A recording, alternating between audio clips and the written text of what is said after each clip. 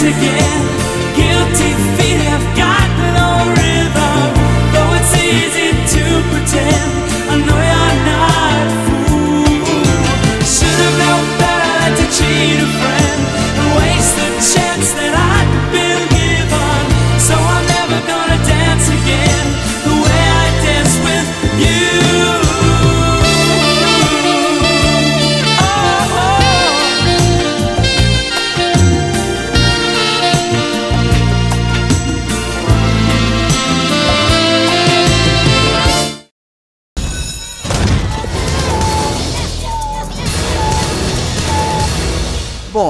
Eu sei que vocês estão querendo muito falar de muitas coisas que a gente já falou no Sem Spoiler, vocês foram bravos em segurar a vontade. Eu só, eu só queria começar falando com vocês o seguinte: muitas das coisas que eu pesquisei e vi de críticas, as pessoas saíram muito do cinema, principalmente as pessoas que não são fãs, porque a gente tem que pensar que esse filme também é feito pra quem não é fã.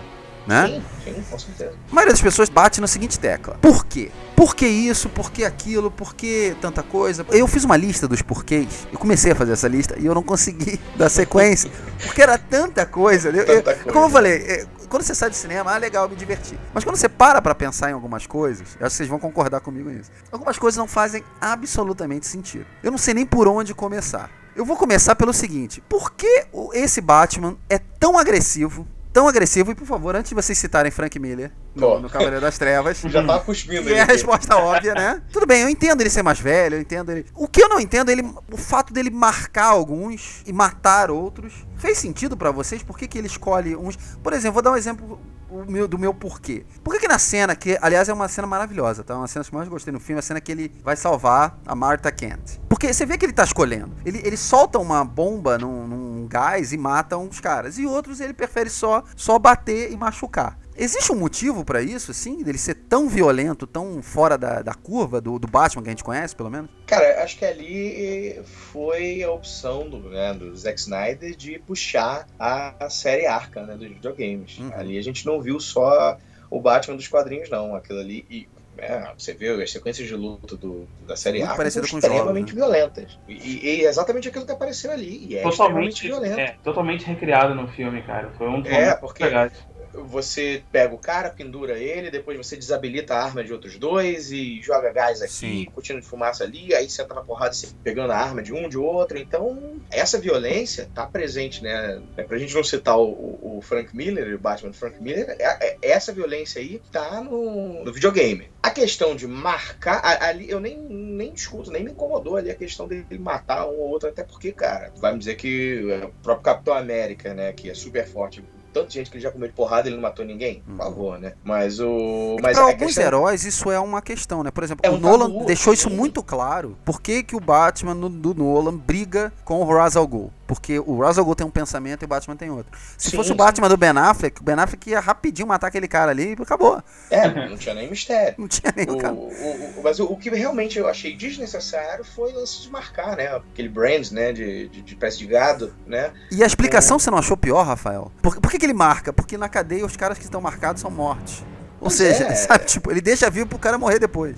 É, emenda é pior que o soneto, né? Nesse caso. Exatamente. Mas a questão da, dele ser mais violento e, e não ligar tanto pro código de, de matar ou não, eu acho que vai muito da, da experiência dele, né, cara? Ele é um Batman que tá em ativo há muito tempo. Então eu acho que ele chegou numa, numa fase que ele já não se importa mais, cara.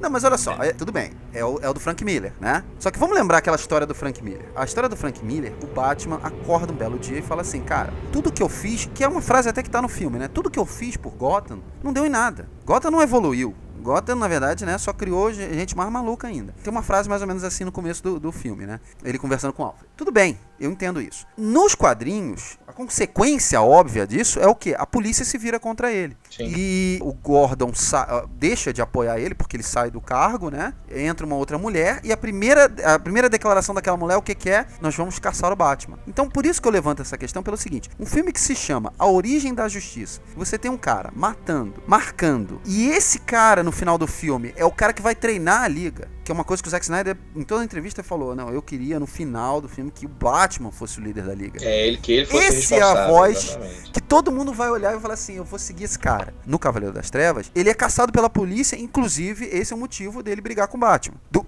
ele- dele brigar com o Superman. Faz isso. sentido nos quadrinhos. Aqui. Eu esperava alguma coisa parecida, até porque o, Zack- o próprio Zack Snyder falou que era ali que ele estava baseando esse filme. E não é bem isso, assim. a- nem a polícia vai atrás do Batman, nem o Superman tipo, vai necessariamente atrás do Batman. Aliás, tem uma coisa, que- uma das coisas que eu ente- escrevi por quê. Por que, que o Batman bota o marcador num carro, no caminhão, eu pensei a mesma coisa. que está E escrito, persegue.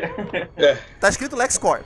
Ele bota o marcador, vai atrás do, do carro. Por que, que ele persegue aqueles caras? Se ele sabe onde aquele caminhão tá indo. E por que o Superman para ele enquanto ele está fazendo justiça? No único momento no filme onde ele realmente está fazendo justiça, o Superman para ele. Não é nem, o- não é nem os vilões, é o Superman. O Superman ajuda o vilão. É, na verdade, aquele rastreador só faz sentido porque o Batman perde o vilão de, de vista ali. Então, mas o se ele vai roubar o caminhão, se ele vai roubar o caminhão, por que, que ele botou o marcador? Porque ele já tá Não, indo como exato, Batman. ele- ele Mas só pra gente ter uma cena de ação, não? Exato, ele marcou ali com a arma, aí ele falou, marquei, agora eu vou atrás deles. Porque, foda-se. Porque eu sou o Batman. É, eu acho que ele mudou de ideia. Ele é bipolar nesse filme, cara. ele teve um conflito com ele mesmo, ele mudou de ideia. É, são aqueles furos, né? Aquilo que eu, que eu tava falando. Storytelling não é o maior, Forte. o maior forte do, do Zack Snyder, né? Então a gente acaba tendo que conviver com, esse, com, com esses furos aí. Vocês não acham que tem horas que a gente olha esse filme e pensa várias cenas assim, cara, quando esse filme é bom, ele é bom mesmo. É, exatamente. Quando ele falha, ele é Fala feio. Sim, sim. Ele- sim você estupidez. para assim, porra, isso foi idiota. Mas vamos em frente, né? Pegando, em- pegando então a deixa do idiota, vamos pra grande batalha do Batman vs Superman. Que eu acho que é o que muita gente que tá ouvindo o nosso cast vai querer saber, né? A grande batalha de 5 minutos. Pe- Alguém calculou e viu que tem 10 minutos, incrivelmente, mas é incluindo o diálogo, tá? Ah. O que- eu quero saber um pouco da opinião de vocês, ah, é, razões que levaram à batalha e conclusão da batalha. Razões que levaram à, batalha não tem o menor sentido. Não, não tem, não tem um porquê, principalmente o lance do Superman, o porquê ele criar uma, uma, um problema com o Batman desde o início, sabe? O Clark pode estar tentando entender, ah, o, o vigilante de Gotham. Mas beleza, ponto de ir atrás dele, sabe, questionar o cara.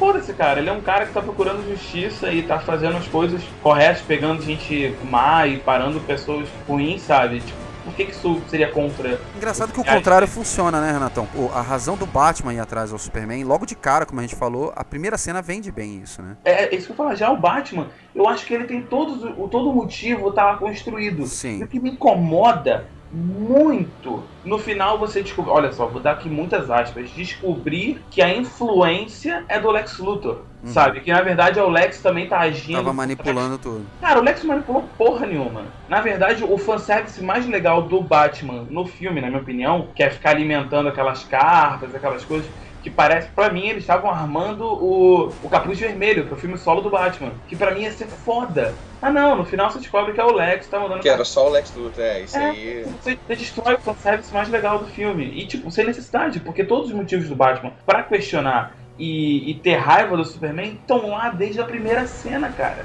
Teve uma crítica americana que eu leio e ela escreveu o seguinte, eu achei genial essa frase. Se o Batman, que é um exímio detetive, como a gente falou, está há muito tempo já na ativa. E o Superman, que é o Superman, né, leitor de mentes e tal. Se eles dois caíram nesse plano chinfrim, isso chinfrim sou eu traduzindo, tá? Chinfrim do, do Lex Luthor, eles merecem perder pro Lex Luthor. Foi isso que ela Não, falou. e, e imagina o que, que não vai acontecer quando eles enfrentarem um Darkseid.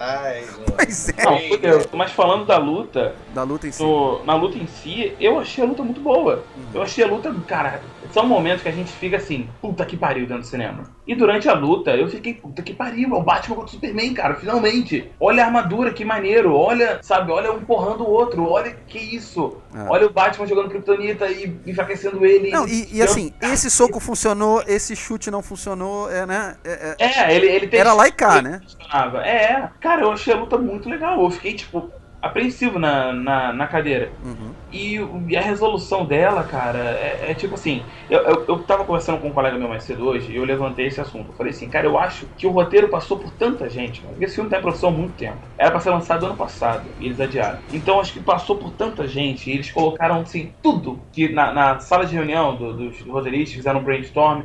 Eu acho que eles pegaram o quadro inteiro de ideias e falou, vamos jogar essa porra toda. E que se foda. Chegou um certo momento que eles lembraram, e caraca, Você sabe que eu pensei a mesma tem coisa? que botar a luta dos dois. Mas como é que vai terminar a luta? Sabe o que eu lembrei? Os dois têm a, me- a mãe Não. com o mesmo nome. O mesmo nome. Então, isso aí. eu pensei Eu que. Eu, eu pensei uma coisa parecida, mas não igual. Eu pensei assim, ó. Que os caras falaram assim, tá bom, o que, que eles têm de diferente? Vamos fazer um quadro. O que, que eles têm de diferente, o que, que eles têm de igual. Eles botaram tudo que eles têm de diferente, Hum. num lado. E do outro lado eles botaram assim, tudo que eles têm de igual. E do, tudo que eles tinham de igual, lá num cantinho tinha lá, a mãe se chama Marta. e aí, depois que eles já tinham colocado tudo no filme, eles falaram assim. "Pera- Peraí, o que, que tem aqui? O que tá escrito ali? Ali, pequenininho? Pô, esse é o motivo deles ficarem amigos, cara. É porque, ô Renatão, na sua vida, na sua infância, Rafaela, você também. Você nunca brigou e o seu amigo falou assim: peraí, como é que se chama sua mãe mesmo? Ah, minha mãe me chama Marta. Pô, vamos ser amigo, A minha cara. também. Pô, eu tô ferrado, o nome da minha mãe é Nilda, eu ia apanhar o resto da vida.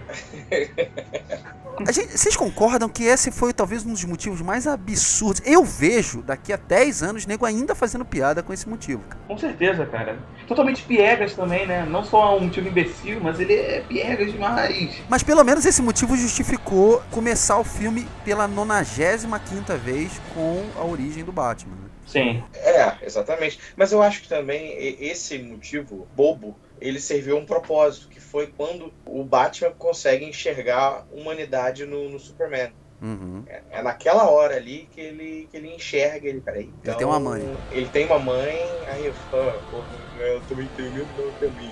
Mas o, cara, o cara que chama ele de Alien o tempo todo no filme, ele não chama em momento nenhum de Superman, ele chama de Alien. Tudo aquilo que ele pensava vai pelo, pelo ralo, assim, só de saber mas que... é- Cara, eu acabei de pensar uma parada bizarra, tipo Mega No Sense. Aí imagina, ele fala isso, ah, o nome da minha mãe é Marta também. Aí ele vai salvar ela e chega lá, tem um alien preso, saca? Tipo um ET. Caralho.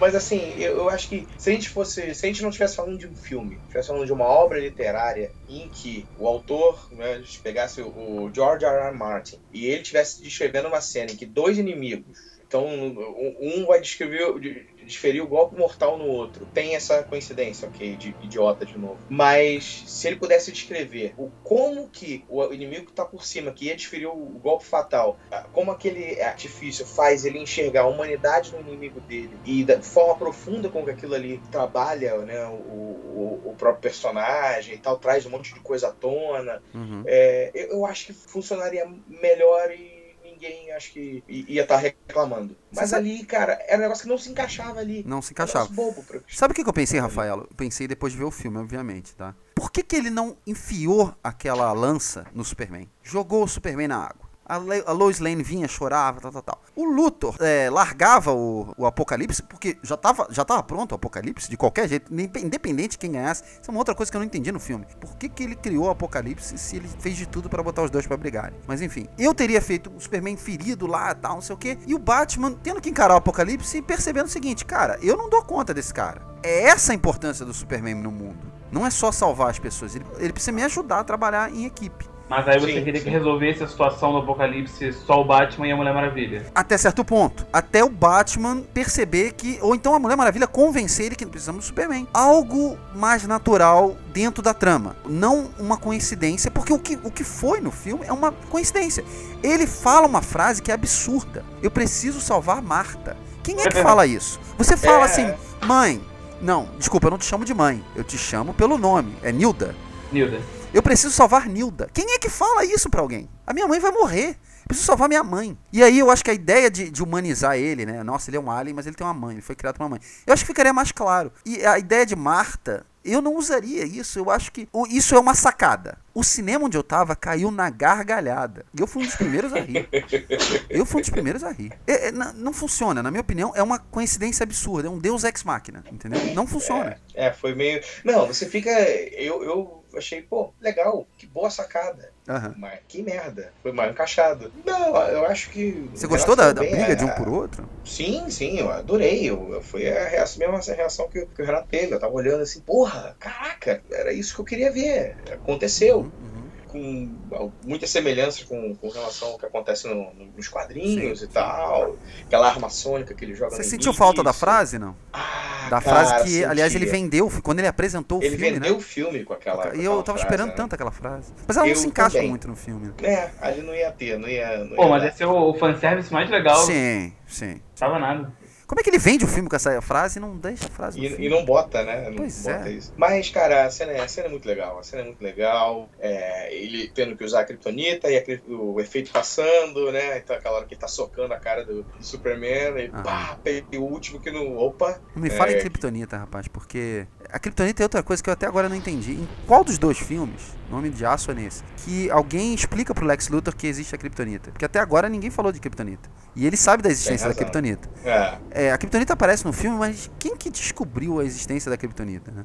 Aliás, o Batman, toda essa cena de ação do Batman que a gente falou, do, do rastreador, do caminhão, que aliás é outra coisa que eu não entendi, por que ele deixou o cartãozinho ali, ó, estive aqui, hein? Foi eu que roubei você. Ah, não, eu, eu- eu- uma outra coisa que eu queria falar é o seguinte, é, todo mundo sabe a identidade de todo mundo secreta. A identidade secreta nesse filme não existe, né? não existe, não existe. É um detalhe. Uma delas é explicado, o, o, o Superman escuta o Batman falando com o Alfred no- na festa. Não, aquilo ali é justificável pra caramba. Tudo bem, É, como é que o Batman sabe que o Clark Kent é o, é o, é o Superman? Porque ele é o maior detetive do mundo e o cara só usa um par de óculos. Mas isso não tá no filme. É.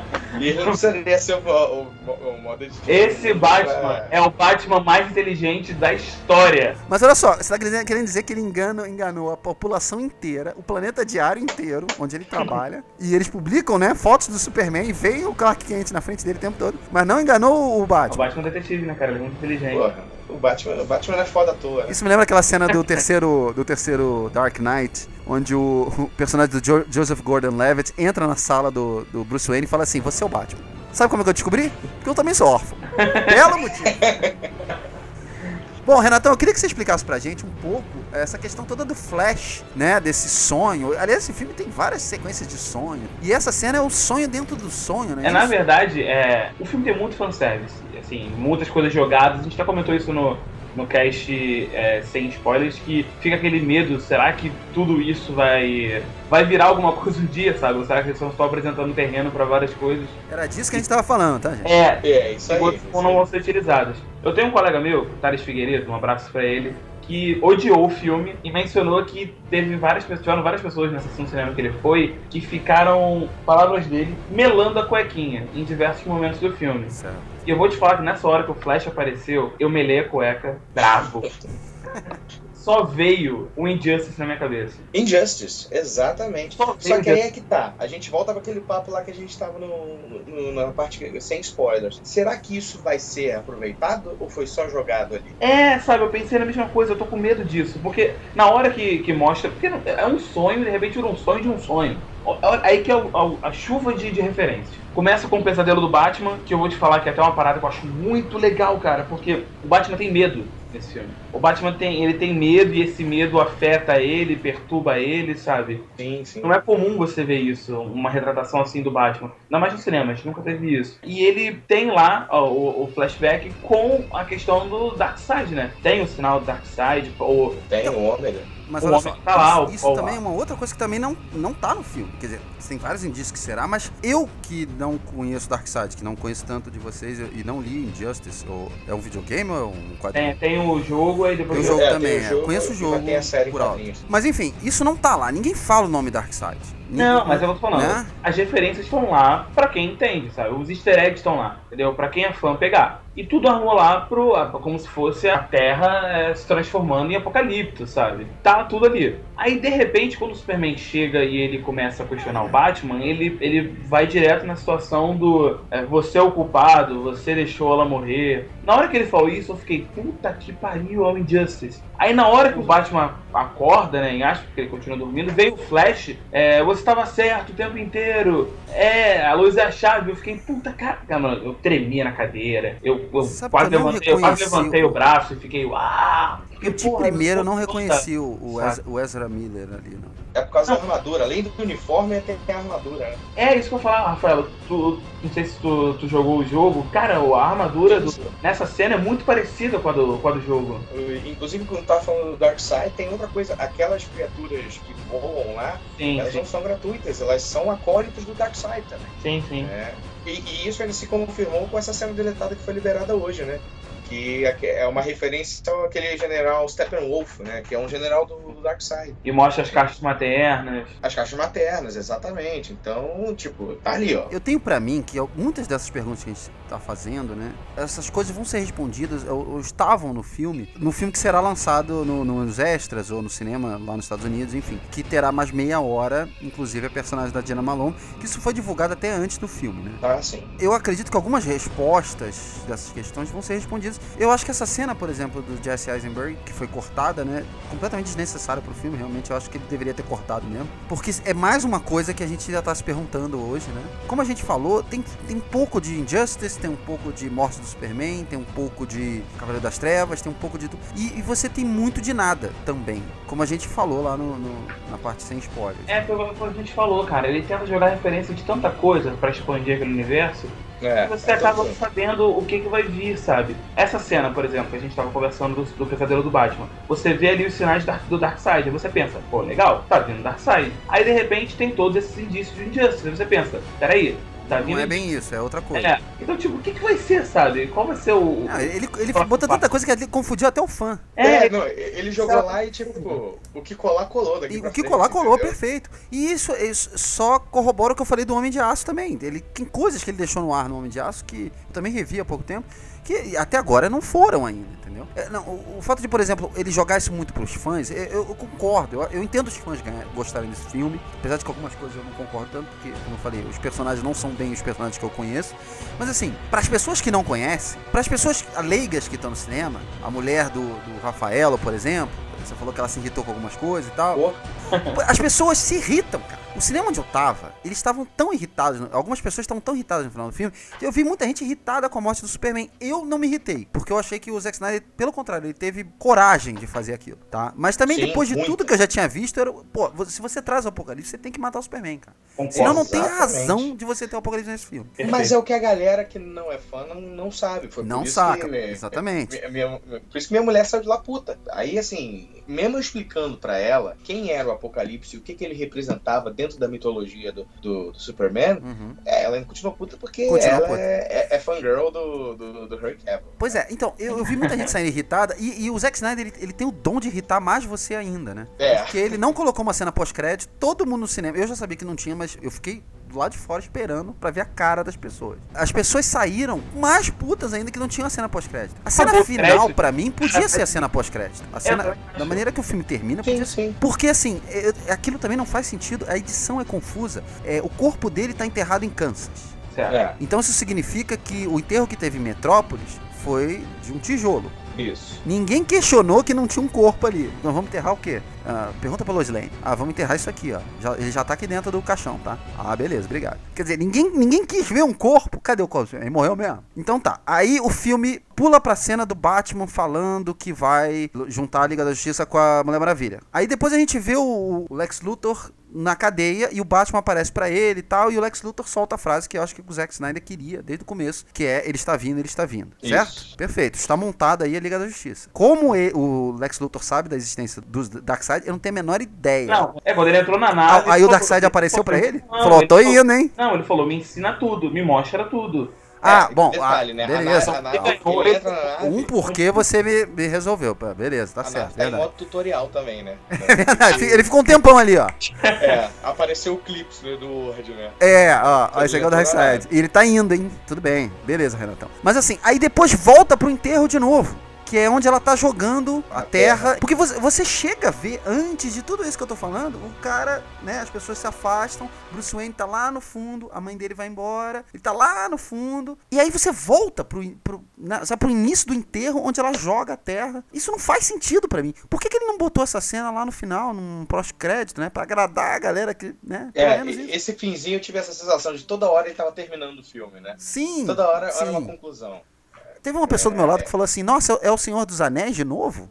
Tem 15 finais, cara. Eu, a partir do momento que você chega nessa galhofa, meu amigo. Não, eu quero saber como é que eles vão trabalhar a morte do Clark Kent, né? Fica aí no, no ar. Ele sumiu, ele sumiu. Aparece uma cena dele morto, de, de- no jornal que ele tá morto também, não? Aparece, aparece. Aparece, né? Não aparece, na verdade, Sim, que ele sim. tá morto. que Aparece ele que ele tá sumiu. desaparecido. Isso. Desaparecido. Já armaram terreno pra eles não terem problema em. Pelo amor de Deus, é a razão do Lawrence Fishburne estar no filme, pra lembrar a gente o tempo todo que ele tá desaparecido. Exatamente. Ele vai comentar assim: Caraca, eu mandei ele cobrir uma matéria de futebol americano e ele não voltou até agora. O jogo dele tá rolando até hoje. É, enchi o saco dele pra ele fazer isso. Vocês querem comentar alguma coisa sobre o Apocalipse, a, a conclusão do filme, né? Toda aquela miscelânea de coisa que aconteceu. Ah, eu não gostei do Apocalipse, cara. Não curtiu? Mas o plano do Luthor de os dois vão brigar e depois eu vou soltar o Apocalipse, eu não entendi. Pelo ponto de vista do Luthor, quem é que ia cuidar do Apocalipse? Não, porque eu acho que a ideia dele. É, não, é a questão é quem é cuidar do Apocalipse. Que a ideia dele era botar o Superman pra matar o Batman. Certo. Aí depois o Apocalipse matava o Superman. Só que aí o que ele faz com, com o Apocalipse depois? Peraí, mas ele planejou isso tão bem, tão bem, tão bem. E se o Batman ganhasse do Superman? Até Ah, porque, porra, vamos lembrar que que ele sabia. né, cara? Vamos lembrar que ele sabia que o Batman tinha tirado o que- a criptonita dele. Sim. Ele- cara, o Batman deixou o cartão pra lembrar ele. o Superman é uma, é uma figura quase que divina no filme. Então ele nunca ia imaginar que o, que o Superman ia perder. E que na verdade ele, ele ia perder, né? Ele perdeu. Ele quis ter a garantia só, né? Ele fez o apocalipse ali, só É. a garantia dele. Mas isso faz sentido, gente, pra vocês? Não, nem um pouco. Pois é, exatamente. É, é porque assim. Ele tá lá pra matar o Superman, ponto. Ele tá ali pra matar o Superman. Ele, ele provavelmente. Aí é, é que eu não sei, né? O que, que veio primeiro, se é ou a galinha. Eu não sei se ele, se ele tá ali pra justificar que ele tinha que matar o Super-Homem ou ele matou o Super-Homem porque ele inventou de colocar o Apocalipse ali. Se colocou o Apocalipse, eu não tava achando interessante. Eu achava. Eu até comentei isso no vídeo da caverna que assim, que era um, ia ser um vilão muito mal aproveitado. Sim. Porque ele é o cara que mata o Super-Homem. E que nos Então- quadrinhos é espetacular, tanto a chegada dele quanto, quanto a- Sim, não. todas as ele- batalhas. Ele, né? ele detona a liga inteira, né? É, ele mata muita gente. muita gente. E, e então, assim, se ele botou ali, eu fiquei muito feliz quando eu vi no final, porra, ele matou o super-homem. Ele foi corajoso, vamos voltar a falar de fanservice. Se ele colocou o Apocalipse ali pra mim, que sou fã, beleza, ele justificou, ele matou o super-homem né, com o Apocalipse, ok. Eu tinha lido umas entrevistas dele que ele falou que ele bateu na tecla pra matar o Superman desde o início. Então eu acho que o, Sim. a ideia dele era ter o Apocalipse mesmo e ter esse final de matar o Superman. É porque ele queria o, o Até porque, Batman ele, é, até porque liga, ele né? queria tirar o Superman de, de lado é, do- da jogada, Não, mas deixar o Batman é justificado. como frente. Mas aí eu volto à sua carta de amor ao fã. Bonito. Porque assim, ó, eu vou repetir, eu li essa revista, eu não lembro nem quantas vezes eu já li essa revista, A Morte do Superman. Naquela revista, o Superman, quando ele, ele já entra na briga, já meio no final da briga, né? Depois que o Apocalipse já matou um monte de gente já. Sim, sim. O Apocalipse naquela revista, ele tá, ele, não- ele não tá na cidade, ele tá no campo, ele tá indo em direção à cidade. Então, o Superman, ele é a última solução do planeta. Se o Superman não parar ele, ninguém consegue. Então, o Superman, ele assume uma ideia do seguinte, eu vou socar esse, esse cara até ele parar. Eu vou fazer ele parar. Porque ele vem vindo, ele vem vindo, ele vem vindo, ele é uma força destruidora e É. ninguém consegue parar ele.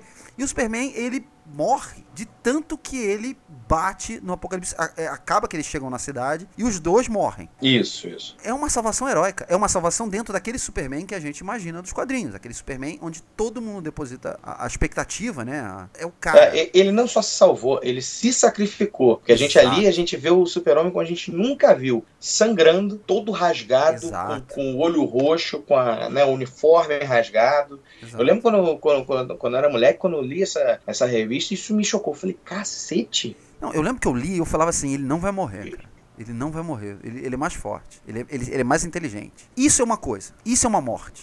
A morte dele no filme, pra mim, não faz sentido. Primeiro, não faz sentido ele pegar a, a lança, porque ele não pode ficar perto da Kryptonita porque ele fica fraco. Exato. Sim. Quando ele decola com aquele negócio, eu já não tava entendendo. Porque quando o Batman tá, nada quando Batman tá com o pé em cima da cara dele, ele tá fraquíssimo. Porque a Kryptonita tá ali, encostada nele. Quer dizer que ele pegar a lança não tem problema, porque tá lá na outra ponta? Não, ele não tinha necessidade. Ele não é o Superman. Ele não pode pegar aquilo ali e lançar com toda a força dele, aquilo no coração do Apocalipse. Ou então ele podia fazer um negócio mais fácil. Maravilha, pega aí, ó. Né? Não é? Ela é Segura ela é aí, ó. Peraí, ô, ô, Renatão, ele não cobre futebol americano? Lança aquilo ali, cara. Pois é. Tu é quarterback ou não é, meu Não, irmão? 200 pô. jardas, pô.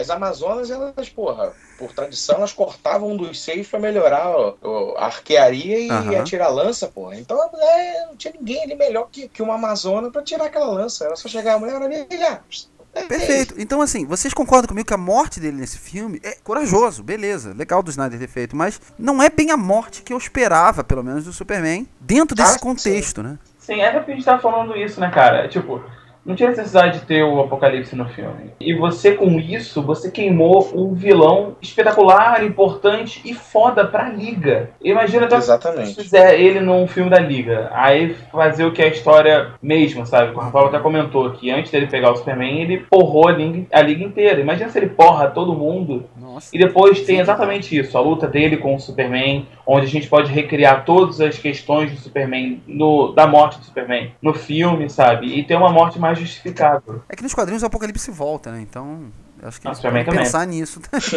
Ah, mas cara, eles não vão usar o Apocalipse de novo tão cedo. É, Eu espero Não. que não. Pô, tem, cara, tem o Brainiac e Darkseid, não tem porque usar o Apocalipse agora. Pois é, não. E, e que desenterre outro vilão, cara. Não, não dá. Vou perguntar pro Rafael o seguinte: o que, que a gente pode esperar do próximo, dos próximos filmes, né? Agora a gente vai ter Mulher Maravilha ano que vem, né? A gente tem agora o Esquadrão Suicida, que não, não deve ter muito a ver com o Batman vs Superman. A gente vai ver o Batman naquele filme, mas a gente espera que não tenha, não seja uma continuação direta, talvez se passe até antes, né? O que, que a gente pode esperar da Liga da Justiça depois de tantos indícios do que pode vir por aí? Olha, eu, eu ouvi uma frase que definiu muito bem esse filme, que é assim, não foi perfeito, mas foi épico. Uhum. Eu espero um filme, um outro filme da Liga, né? Um outro filme que não vai ser perfeito, porque a gente tá falando do Zack Snyder e não é o melhor contador de história da Terra, mas eu acho que vai ser um filme épico. É, ele correu, acelerou as coisas agora. é, Ele precisa ver muito bem isso. Beleza, acelerei tudo para poder, em um filme, é, resolver esse monte de coisa que eu tinha que resolver. Tinha que apresentar, botar a liga ali, ali formada. Então, ele agora vai ter. Voltamos a um filme de origem. É a origem da liga. Então, ele vai ter mais duas horas e meia para contar como é que o Batman vai entrar em contato com cada um. Obviamente, não vai ter algo assim, muito formal. Eles vão ter uma ameaça iminente. E, ó, nós somos os seres mais poderosos da Terra. A gente precisa é, se juntar para combater esse inimigo. Pronto. Você acha que a gente não deve esperar algo na base dos Vingadores? Eles não se darem bem no começo e depois trabalharem a equipe. Não vai ser isso. Não, eu acho que não vai chegar a esse ponto, não. Eu acho que vai. Eu, eu espero que tenha um estranhamento do Batman com todos os outros membros, que é assim em, em toda a participação do, do, do Batman. né? Ele é aquele cara que todo mundo tem cagaço de falar com ele, tem um plano pra matar cada um dos membros da liga, caso. Né, um deles errado, se, se é. volte. Então, assim, eu, eu espero que, que haja esse estranhamento. Tá? Mas eu acho que você, você vai ter ali, você vai ter o alívio cômico, que é o Flash, você vai ter o líder, que é o Batman, a, a- Mulher Maravilha, que vai tentar acho fazer um contra- contraponto com o Batman ali, é, e o próprio Super-Homem, né, em relação a, a ser mais a voz da razão e tal. O Aquaman, acho que vai ser o Brucutu da parada. O Cyborg, né, não sei o que, que ele vai fazer. Servir café e servir torradeira. Não sei, eu não, Alguma eu coisa. não, é, é, ele vai servir de pendrive. Vai, ah, preciso de um HD externo. Bum. Eu- é, eu, Boa, cara, essa eu é boa. achei o, o, o, o Cyborg um puto herói, assim. Olha, vindo do. Zack Snyder, eu espero qualquer coisa. Pode ser. É, pode ser. Mas eu acho que vai ser. Não vai ser um filme tão complicado de ser feito. Pode, pode, vai ter mais calma para trabalhar em outras duas horas e meia, duas horas que seja, os elementos com mais, mais tranquilidade para mostrar, né, o inimigo comum. É, é uma fórmula de bolo, né, cara? Não tem por que complicar. Olha só, a Uhum. liga tá aqui, o inimigo é o Darkseid, vamos pra porrada. Renatão, Cara, eu, eu, sei lá, eu quero ver menos referência, cara. Eu quero que eles centralizem mais na história que eles estão contando, em vez de ficar expandindo o universo inteiro. Eu vou ter um filme com a liga inteira, cara. É muito, é muito personagem para atenção. Então não precisa ficar alimentando mais um universo gigantesco. Foca naqueles caras, foca naquela história. É, eu acho que a tendência para os filmes da DC e da Warner é melhorar com o tempo, porque eles estão vindo na, na, na, na contramaré. É, nos outros, você teve o tempo de lançar um filme de cada vez e expandir tudo até chegar no, no, no filme evento, que é o filme que vai unir o- os Vingadores. Aqui é o contrário, aqui você teve duas chances de pincelar o universo e BUM! É, toma aqui a Liga da Justiça. Então acho que a tendência, cara, é você se acalmar e começar a focar em cada personagem e trabalhar mais a história deles sem se preocupar com o, o além daquilo. E uma coisa que eu acho que vai acontecer, cara, eu acho que a gente vai ter um pouquinho de mudança no tom do filme. É, eu acho que a, a Warner e a, DC têm um, um histórico até legal em escutar os fãs, sabe? E os fãs querem um pouco mais de, de diversão no cinema, um, um clima até um pouco mais leve, sabe? Eles não querem, tipo, excesso de piada, tipo Vingadores 2. mas eles querem ter aquela diversão, cara. Quadrinho é diversão. Quadrinho não é aquela coisa séria o tempo inteiro. Existem as graphic novels com arcos fechados, que tem às vezes o tom mais denso, principalmente o do Batman, mas a gente tá falando ali de, de histórias em quadrinhos, de heróis populares, heróis que não tem muito é, esse universo fechadão, tipo Aquaman, tipo Cyborg, tipo Flash.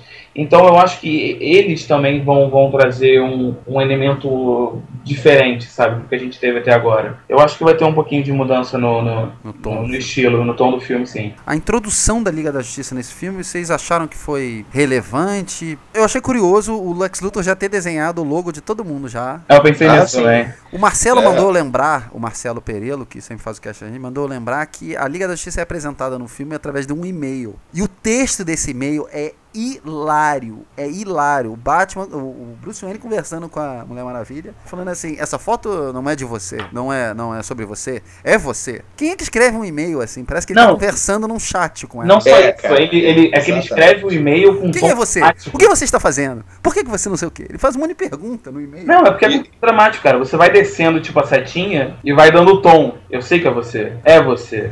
Olha isso. Sabe, tipo, ele, ele escreve com um tom de. É, não, eu, eu, assim, ó, eu acho que aquilo ali é pro fã, tá? Eu gostei do, do trechozinho do Flash, apesar de que algumas pessoas não gostaram, eu gostei. Eu entendo que você tem que estar olhando pra tela certa, porque são, tá dividida a tela, né? Em É. Cenas. Tem gente que tá olhando pra outra tela e não, não vê o que aconteceu, até porque ele é o Flash, muito rápido. Mas assim, a do Aquaman eu achei tão bizarra e a do, do Cyborg eu achei pior ainda. O- até É. os efeitos especiais não. Parece que não. Cyborg me lembrou o- o- esse último Robocop. Do Robocop, é verdade, é. E, e não tá muito claro, assim, sabe, o que que é, o que que tá acontecendo ali, né? Eu achei, eu acho legal, porque o Rafael acho que vai concordar O comigo. lado é legal, fã, né? O É lado legal ver isso pela primeira vez, esses caras, sabe? Sim, sim. Porra, né? é possível na hora você ver isso e não ficar, puta que pariu, olha o Aquaman. Mas assim, eles pensaram tanto em como inserir esse personagem, foi isso que eles chegaram? Foi preguiçoso demais, cara. Foi, muito preguiçoso. preguiçoso, Foi preguiçoso. foi Eles podiam preguiçoso. ter colocado rumores de acontecimentos Uhum. que, que nem mostrasse, entendeu? Mas que fizessem menções só. Eu, eu acho que a única que é legal é do Flash. Assim, eu achei legal ver todas, né? Apareceu. Até porque o ele está fazendo alguma coisa, né? Os outros tão, não estão fazendo É, nada, praticamente. O, o Aquaman parece com uma moreia, né? Ele entra, sai, pá. E, e, e a do Cyborg O Cyborg é tá meio amarrado. Cara. É. eu, eu vou te falar que o que eu mais gostei é do Cyborg. Eu Eu achei, eu achei do Cyborg é mais mal feito.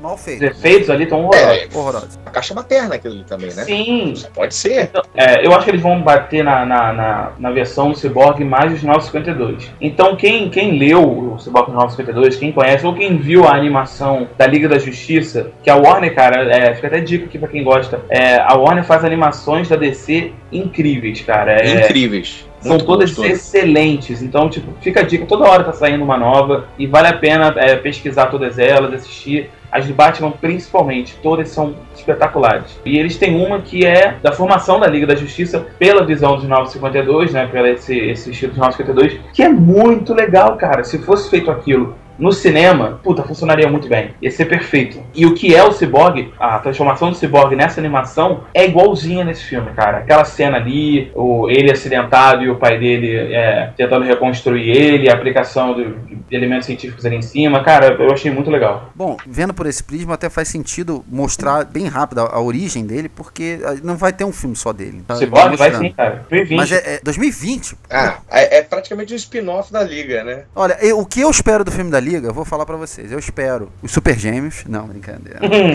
O A Glick. minha infância, né? Não, olha só. O que eu espero da Liga da Justiça é o seguinte: eu, eu falei que eu preferia que fosse outro diretor. Infelizmente não vai ser, vai ser o próprio Zack Snyder, já começou a gravar. Eu espero que ele, tenha, ele, ele seja mais conciso nas ideias dele. Eu acho que vocês resumiram bem. Eu, eu queria muito gostar desse filme, eu só queria deixar isso claro nessa mensagem final. Eu queria muito gostar desse filme. Eu sou muito fã dos dois personagens, eu li os dois personagens. Eu queria, mas eu saí do cinema pensando que, assim, apesar de ler pouco Marvel, quando eu era mais novo, eu acho que a Guerra Civil vai ter um motivo muito melhor para os heróis brigarem do que esse filme teve. E eu tenho certeza que a conclusão da briga deles vai ser muito mais satisfatória do que a conclusão que eu tive da briga nesse filme. Até porque os dois não têm a mãe com o mesmo nome, né? Eu espero Ah, que isso não. facilita bastante. Eu espero que não.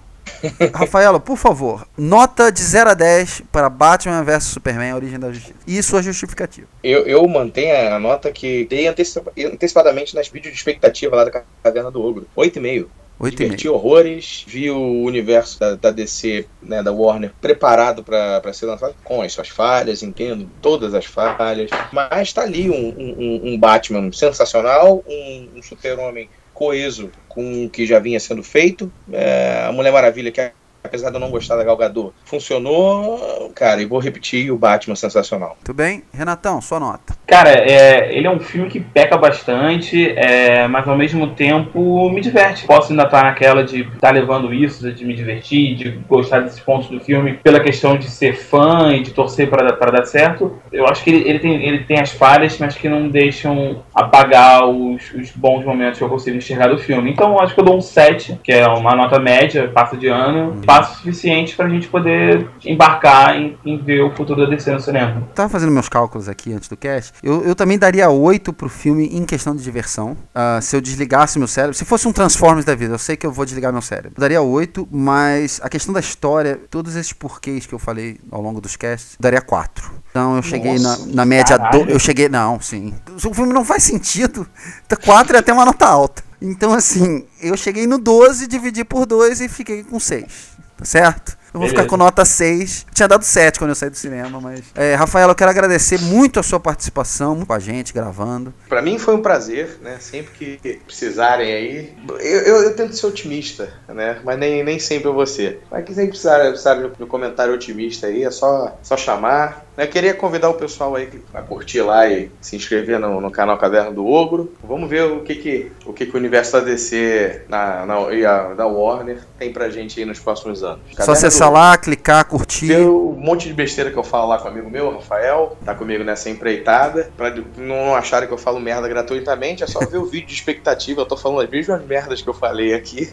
Eu falei lá nas minhas expectativas. Então, se eu falo merda, eu falo merda de forma coesa. Muito bem. Renatão, queria agradecer a sua presença também. Você quer deixar uma, um recado aí pra galera? Cara, é, quero agradecer a você pelo convite, agradecer ao Rafael por ter topado é, fazer essa gravação com a gente, cara. Foi muito maneiro. Deixar aqui para todo mundo realmente se inscrever, compartilhar os vídeos dele, da Caverna do Ogro, é muito legal. O trabalho Obrigado, lá de muita qualidade, então vale a pena todo mundo olhar. É, deixar aqui minhas redes sociais, no Facebook Instagram, barra Rena Maciel com dois L's. Quem quiser me chamar lá, mandar uma mensagem, falar que falei merda aqui hoje, ou coisa do tipo, tamo lá. E deixar aqui as as páginas da, que eu tenho no Facebook, né? A minha página de cultura pop, que é o Geekon, e da minha produtora de eventos nerd, que é a Roleplay Produções. A gente está agora no mês, finalmente, a volta de Game of Thrones. Então, a gente vai fazer uma temporada muito especial lá no Calabouço, do nosso querido Marcelo. Então, vão ter exibições ao vivo todo domingo do episódio, drinks temáticos, show, sorteios de brindes. É muito legal, então fica ligado por lá para sorteios e maiores informações.